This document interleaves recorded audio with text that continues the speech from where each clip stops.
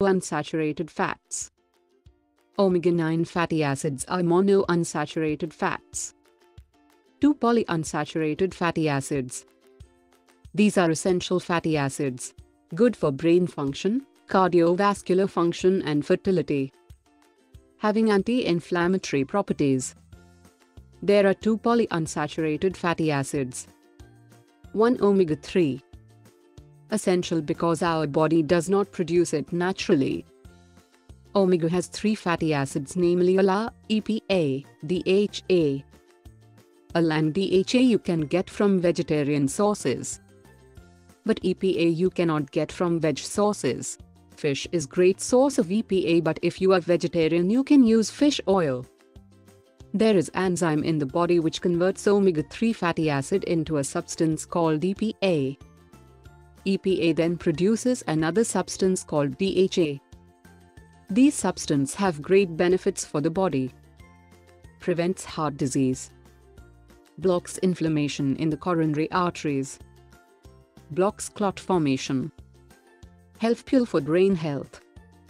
Also for hormonal function. Deficiency of omega-3 fatty acids. Your attention will be divert. You will have problems in sleep you will suffer from depression. Sources of omega 3 Sources for omega 3 fatty acids are dark leafy greens, walnuts, flax seeds, chia seeds, spinach, broccoli, soybean. Recommended daily dose 4 grams. 1 gram must be EPA.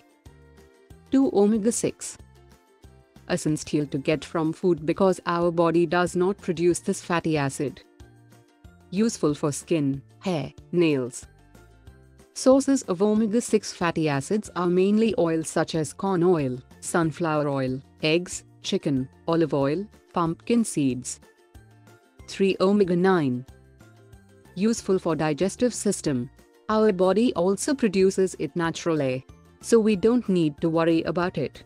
It increases your HDL and decrease LDL. Also good to control your aggression, anger, Sources olive oil, eggs, cheese, sunflower oil, brown bread.